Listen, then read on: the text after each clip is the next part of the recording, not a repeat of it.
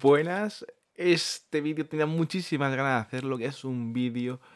Bueno, más bien es un hilo que hice en Twitter hace ya muchísimo tiempo analizando Midsommar, que es una de mis películas favoritas. Creo que tengo otro vídeo en el canal analizando alguna de las escenas.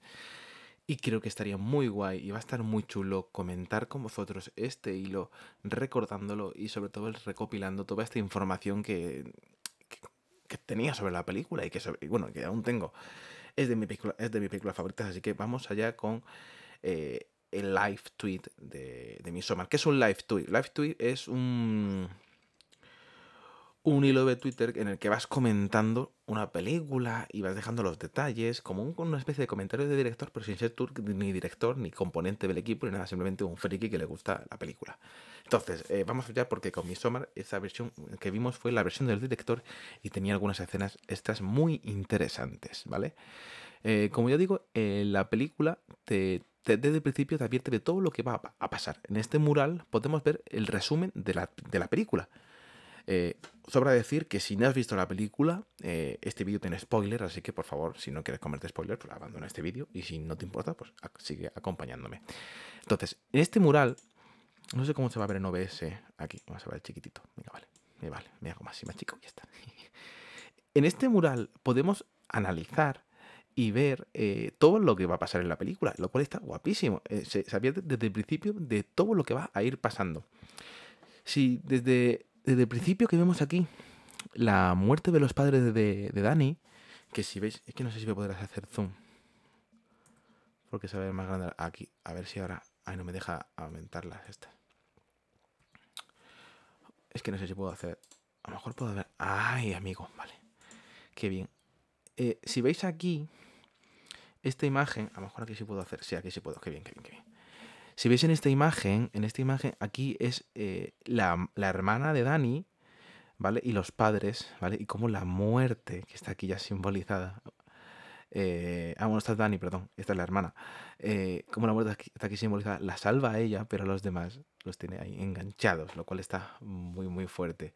Aquí vemos otra de las escenas de él, el, el novio de Dani, eh, consolándola, pero si veis, tiene la mano aquí eh, con los dedos así. Y eso significa que es mentira, que todo lo que está contando no es de verdad. Entonces todo lo que la está consolando falsamente porque en realidad quiere dejarla. Y lo más interesante y más guapo de este mural es que arriba tenemos al amigo del novio, que es un cabronazo que está apuntándolo todo porque los va a llevar a su muerte, a todos. De hecho, esto es lo que vemos en la siguiente escena mural. Y es que vemos a, los amigos del novio acompañados al ritual. Vemos ya representado el que sería el bufón, el lis, el inteligente y el novio. Lo vemos acompañados, ¿vale? Y él, el amigo, como si fuese el flautista de Amelie, y los llevará con con, como si fueran las ratas.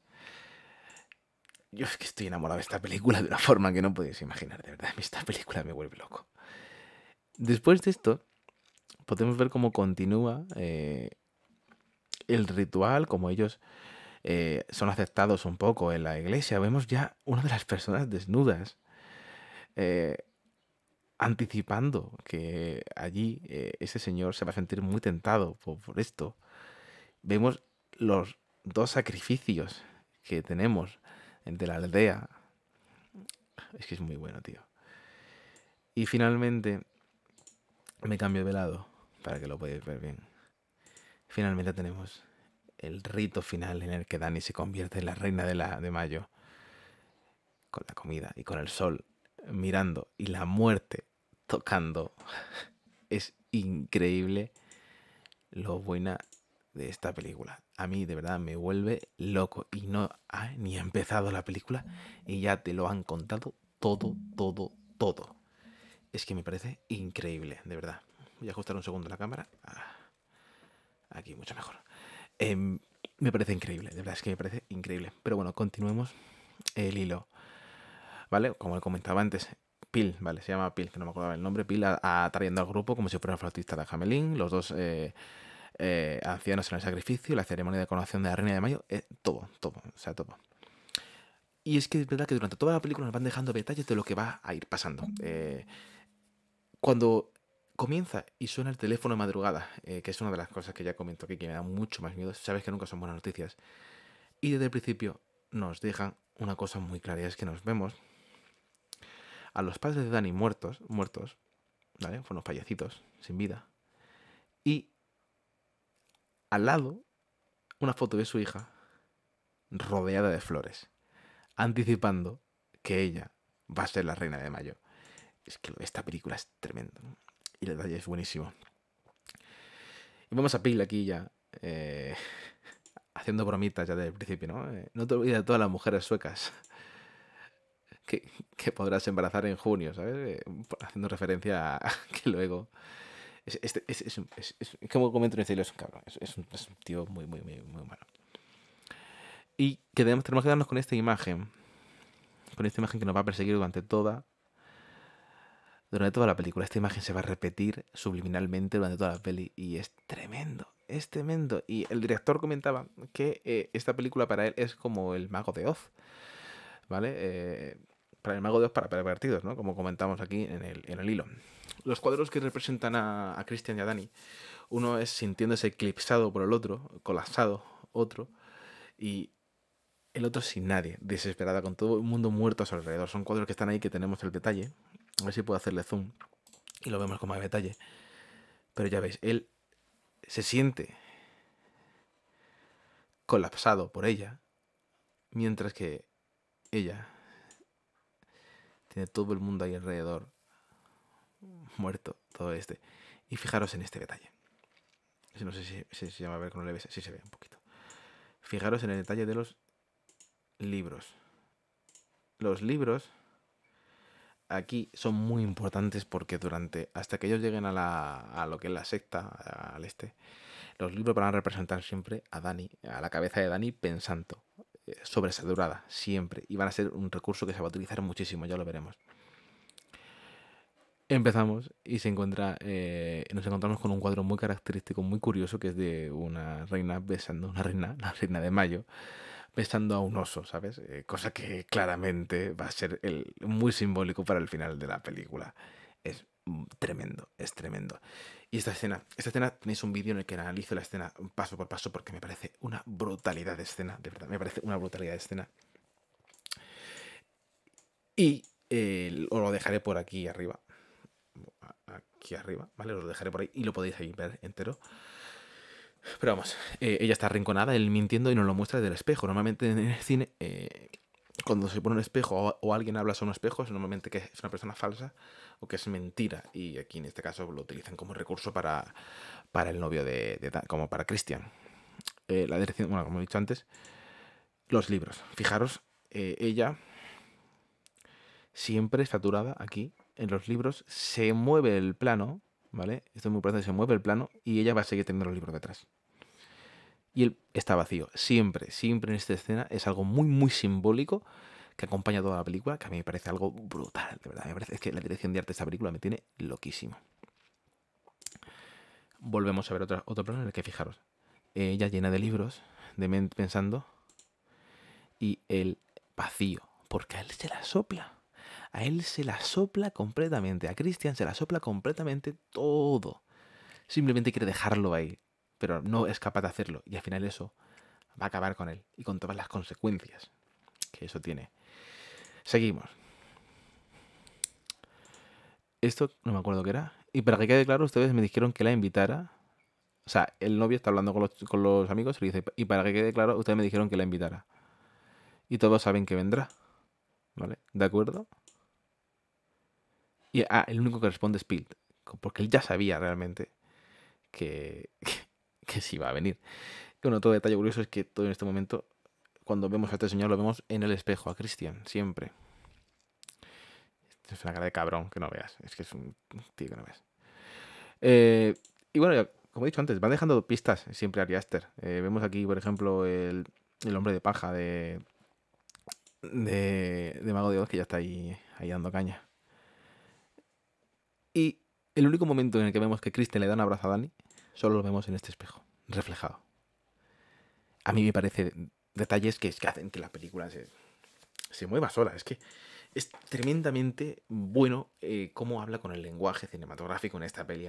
Es que me parece una auténtica locura, pero una locura de verdad. O sea, es tremendo, tremendo. Como he dicho, Pil es la parca eh, llevando a sus amigos a la muerte, ¿no? ¿Ha visto eso, Pil? Te la arreglaste para lavarle el cerebro a todos tus amigos. Yo ya lo tenía lavado cuando lo encontré. Hace referencia a que este ya es el tonto, ¿sabes? Ya, se sabía. Del minuto uno este es el tonto, el bufón, y sabemos que, va a estar más este. Bueno, esto es una coña que solté de, de, de Taking to Hobby Twice, Y aquí está, la hermana por primera vez, en el espejo. Ahí está. Ahí está. La cabrona. Asustándonos, tío. Asustándonos, tío. Es que es tremendo. Es que es tremendo, de verdad. Este plano me, me pegué un repullo en el cine, tío, cuando la vi por primera vez. Y bueno, este tipo de planos son planos. A ver, es que no sé cómo puedo eh, explicaroslos porque no tengo vídeo, ¿vale? Pero son planos que están al revés. En plan, empiezan al revés y lo que hace es que se va subiendo hasta que se da la vuelta y se pone bien. Normalmente cuando es, normalmente son planos cenitales que hacen así, esto es, el ojo de la cámara, ¿vale? Que hacen así y se dan la vuelta. Eso significa que es un punto de no retorno en cine. Eh, o sea, cuando tú ves este, este, plano, tú sabes que en este punto empieza el como segundo acto o lo que realmente es el motor de la peli. Si tú ves este plano, sabes que ahí ya no hay vuelta atrás. De ahí ya no pueden volver atrás. ¿Vale? El punto no retorno, bueno, es una referencia también que yo hago a, a Regreso al Futuro 3, ¿vale? Cuando están con el, con el tren y hay un punto de no retorno, pues esto un poco igual. Eh, cuando ves este plano, punto de no retorno, ¿vale? Continuamos para Bingo. Eh, cuando Prim presenta al grupo del, al padre saluda a todos con un hola y a Dani con un bienvenida a casa. Son detalles, tío, es que son detalles de la peli que, Mar tiene miedo a los bichos y se tira toda la película con calcetines por fuera. Unos detalles, pues por ahí está. Y las runas, vamos con las runas. Se colocan en esta posición en una forma de runa que significa una evolución, que involucra, involucra un cambio interior, una apertura mental. Viene a indicar cuando cambios en la vida o desplazamientos. Los cambios también serán a nivel individual o abrirán nuevos caminos. Ya, ya te lo está diciendo todo desde el principio. Y esta es la runa que Dani lleva durante toda la película pues es ella quien hace el viaje y supera el duelo. Amiga, date cuenta, esto no me va. Cristian se olvidó de todas, de, todas formas, así que esto es increíble, gracias. Por su cumple, creo que es, ¿no? No, no, yo olvidé recordarle. Y no es su culpa. Es que, tío, es que es muy fuerte esto, ¿eh? Es que Dani estaba en una burbuja, la pobre mía, de verdad, con un tío que no la quería nada. Es que es horrible. Entonces, ¿cuánto tiempo llevan juntos? Un poco más de tres años y medio. Cuatro años. Toma. Cuatro años. Para que se vea que van ahí de tope. Eh, bueno, es toda una referencia claramente a Gravity Falls. Digan lo que digan, yo siempre lo voy a mantener. Aquí ya se ve el oso, está encerrado. Y vuelven a hacer lo mismo que hicieron en la primera escena. Contarnos lo que va a suceder. Y tenemos lo mismo. Tenemos una piba que se enamora de un tío. La tía coge unas hierbas coge, las pone debajo de la cama para que él... Eh, es un amarre de toda la vida, para que sueñe con él y demás. Después coge parte de su pelo, de su pelo púbico, los echa y su sangre, los echa en un, en un recipiente rico, rico, rico, para que, la, que él se enamore de ella. Un amarre clásico, bien rapidito, rico, rico, con sustancia al orguillano. y aquí vemos, eh, como en un segundo plano, Pil se lleva a Christian para decirle que le ha cagado con el cumple de Dani, ¿vale? Para que veamos que. Que bueno, que, ya está todo clarísimo. Lo de las tijeras debajo de la almohada a un bebé es un ritual para cortar los espíritus malignos y conseguir un sueño saludable para aquellos que le cueste dormir, ¿vale? Yo solamente voy a contar todos los detalles de esta película. En esta ruina, runa, que es esta, se llama ruina Ot Gila, o sea, significa libérate o atrás lo obsoleto. Eh, y se utiliza para dominar la situación y se, eh, y se utiliza para adaptarte y para dominar una situación y que la gente te ayude. Me parece muy fuerte sabiendo lo que viene después. El momento de los sacrificios me parece un, hostia, muy, muy fuerte. Esta cara de la señora diciendo, señores, es que no saben respetar nuestra cultura. Señoras. Bueno, esto era la época del. Cuando dice el, este hilo, era la época del corona, así que, bueno, pues bueno. Eh, Pele dice que, Dani, que a Dani que sus padres también murieron en un incendio. Y lo que realmente no sabemos, lo que realmente nosotros sí sabemos, pero ya no es que los padres realmente murieron en los rituales de mayo de, esta gente. Eh, en esta otra versión, hacen un ritual en el que sacrifican a un niño y lo tiran a un lago para que se ahogue. Al final lo paran, ya que el niño ha sido valiente. Esa escena no la puedo poner, pero bueno, os podéis imaginar.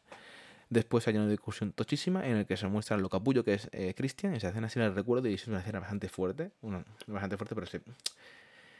Eh, sí es verdad que en la primera versión de la peli no pillamos el suficiente asco a Christian.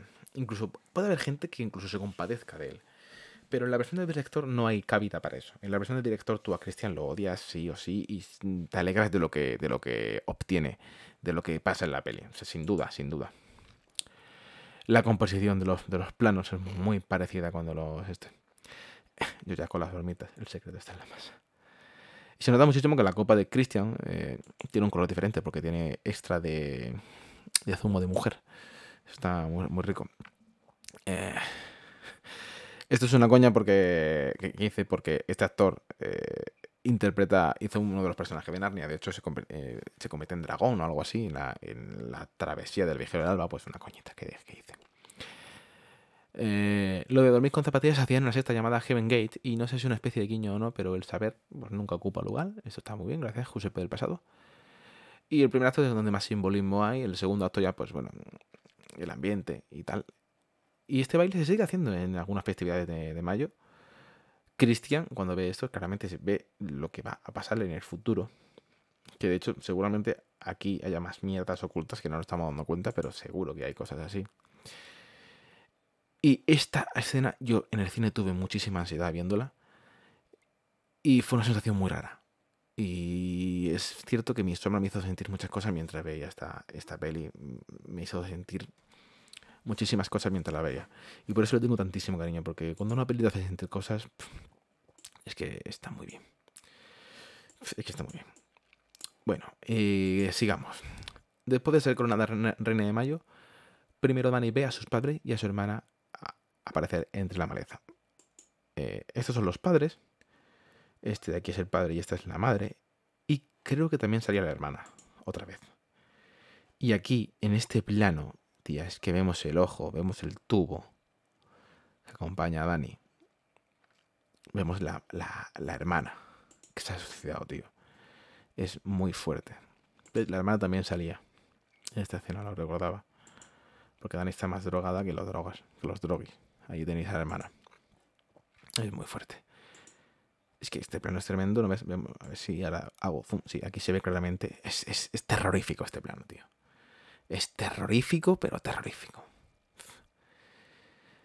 Eh, es verdad, en este plano no se ve, aquí no se ve porque está en imagen, pero aquí está iluminado con una luz extraña. Y esta luz ya se utilizó antes para en Hereditary, en la primera película de Ari Aster, y que representaba que el demonio estaba acechando ya a esta a este, este. La runa que lleva Christian significa un nuevo principio, un bienestar creciente y la, y la consecución de las metas.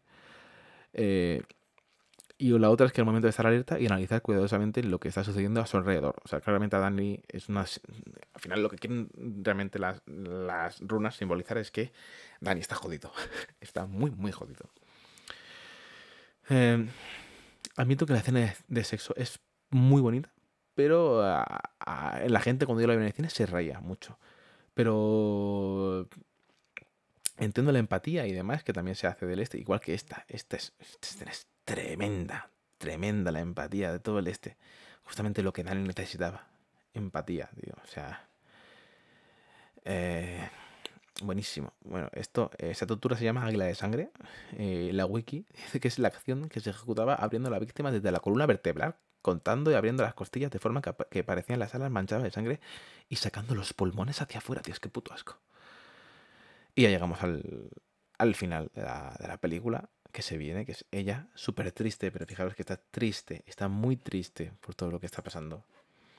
Al bufón, que ya no, lo anticipaban antes. Y vemos dentro de la cabaña otra runa, que es la runa Injkuth, que significa nuevo comienzo. Entonces es dejar atrás que más. Y ya, el último plano vemos a Dani feliz. Mm, y como digo aquí en el, en el live tweet, no está feliz por la muerte de Christian a sus amigos. Está feliz porque ha superado el duelo, ha encontrado a la gente que le entiende y que siente empatía por ella y ha empezado una nueva etapa. Y, y esto es lo que nos encontramos.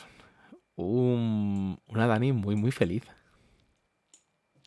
A mí me flipa Midsommar. Me parece una de las mejores películas de terror de los últimos años. Eh, le tengo un cariño increíble a la película. Eh, estoy deseando ver lo nuevo de Ari Aster. Pero yo con esta película tengo algo y es que esta película eh, me hace sentir cosas. Y a mí cualquier cosa de ficción que me haga sentir cosas me, me parece algo de comentar y de recomendar y de que la gente debe verlo. Así que si no has visto Midsommar, yo te recomiendo muchísimo esta película, sobre todo verla con tu pareja. Si tu pareja le molesta esta peli, creo que hay que cortar por lo sano. Es, es como una prueba, ¿no? Una prueba. ¿A ti qué te parece esta peli? ¿Te gusta? ¿No te gusta esta peli? Déjamelo en los comentarios. Yo te leo y, seguramente lo, comente, pues lo comente y tengamos un debate o algo, porque a mí esta peli me, me, gusta muchísimo.